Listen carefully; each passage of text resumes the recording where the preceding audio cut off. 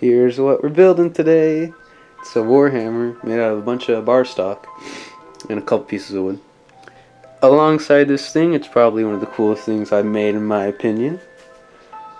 Also, I painted some other stuff, so here's how to build it. And I am going to cut this out with the hacksaw.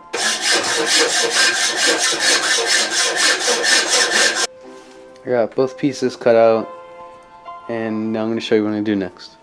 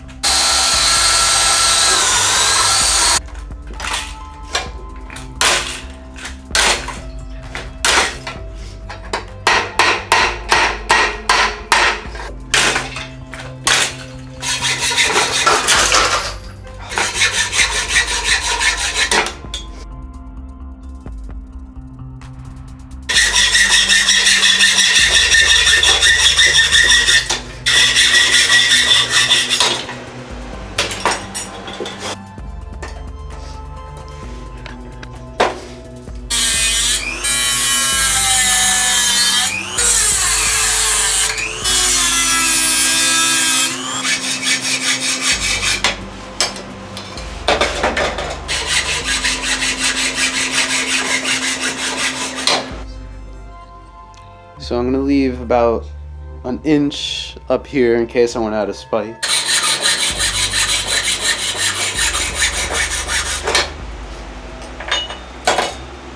For the spacer here, it's just two of those roofing nails.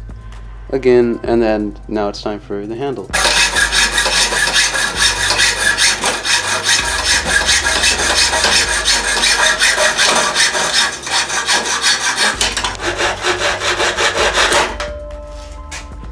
Then you clamp it down.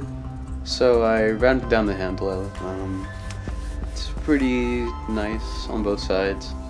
Now I'm gonna tape up this edge down here and then this edge and I'll just spray paint the whole thing. After adding the final paint job, it's looking pretty good, not gonna lie.